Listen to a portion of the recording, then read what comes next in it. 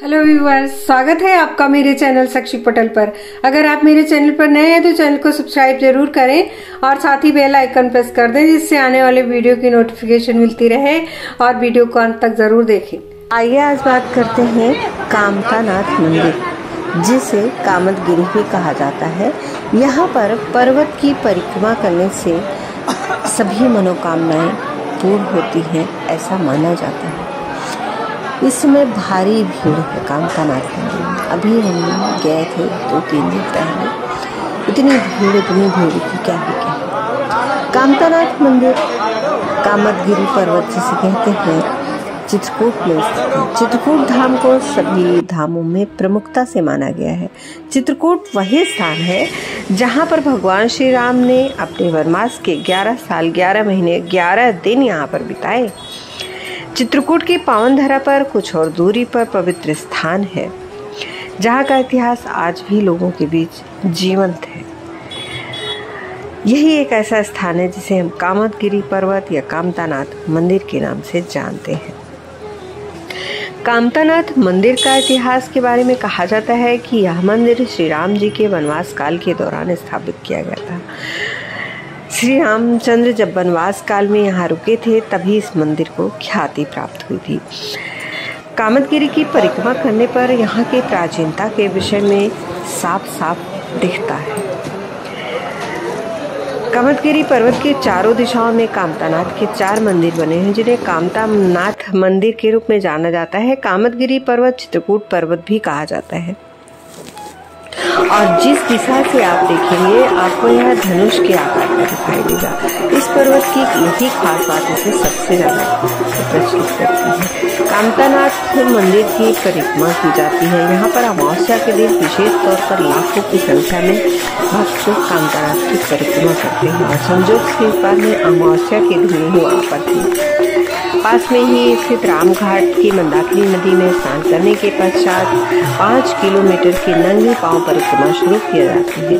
पाँच किलोमीटर की परिक्रमा करने के बाद भक्तों को यह परम विश्वास होता है कि वे अपने कष्टों से मुक्त हो जाएँगे और सचमुच पाँच किलोमीटर का पता ही नहीं चलता। कामतगिरी पर्वत के साथ काम की कहानी इस प्रकार है। जब भगवान श्री राम यहाँ से जाने लगे थे, तब कामतगिरी पर्वत निराश हो गए। उन्होंने भगवान श्री राम से कहा जब आप यहाँ चले जाएँगे तो इस जगह को कौन पहचानेगा? तब भगवान श्री राम जी ने कामतगिरी पर्वत की इच्छा पूर्ति पर्वत का वरदान दिया और कहा कि आप जो भी परिक्रमा करेगा, उसके सभी कष्ट दूर होंगे। मैं भी उस वक्त के करीब रहूँगा। तब से कामतानाथ की परिक्रमा निरंतर चल रही है। आपको चित्रकूट ही नहीं, भारत के कोने कोने में भी ऐसे लोग मिल जाएँगे जो कामतानाथ की परिक्रमा करने आते है। यही नहीं पैदल नहीं, नंगे पाँव ही नहीं। मैंने बहुत सारे ऐसे लोगों को भी देखा जो लेट कर परिक्रमा करते हैं। उतनी कठिन परिक्रमा होती है।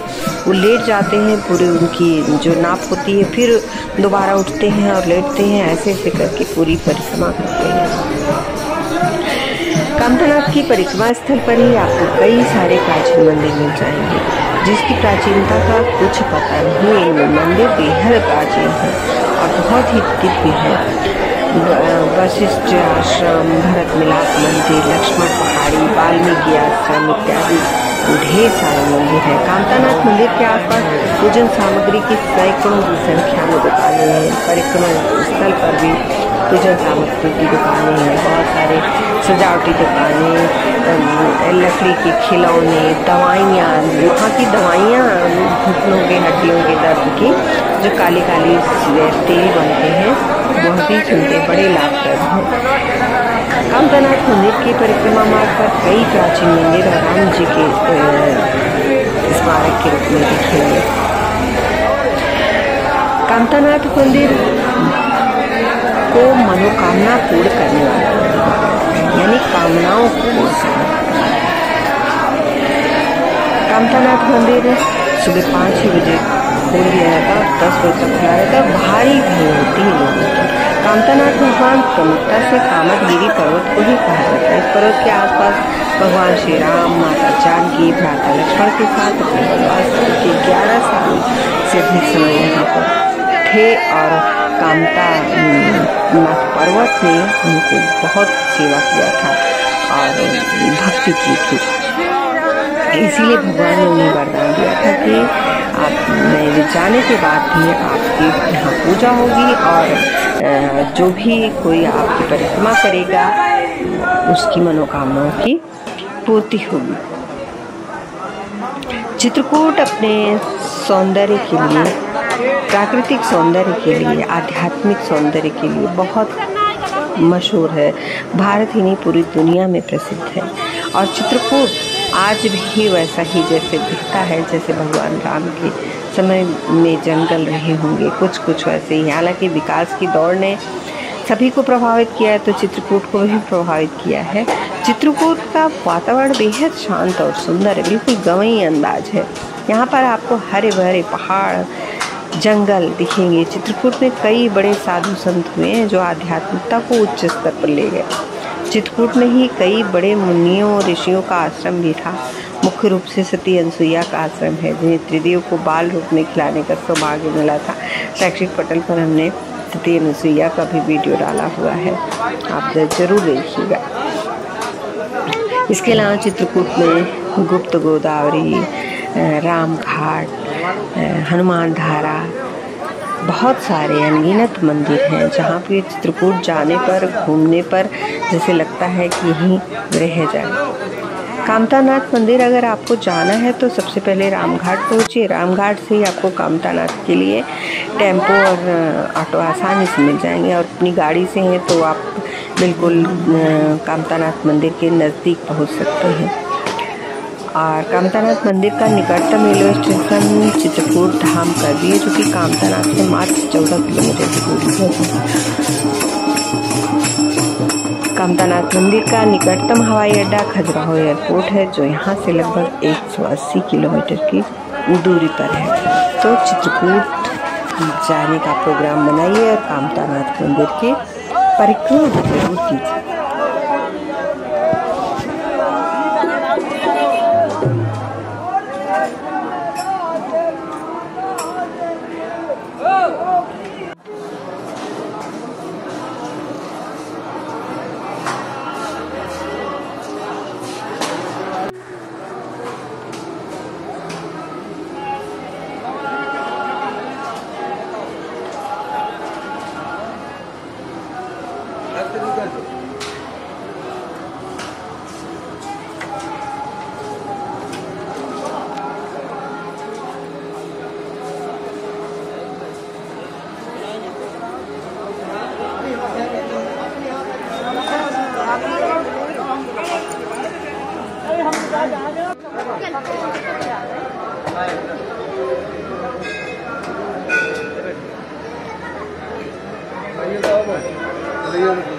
बोतल ले लो।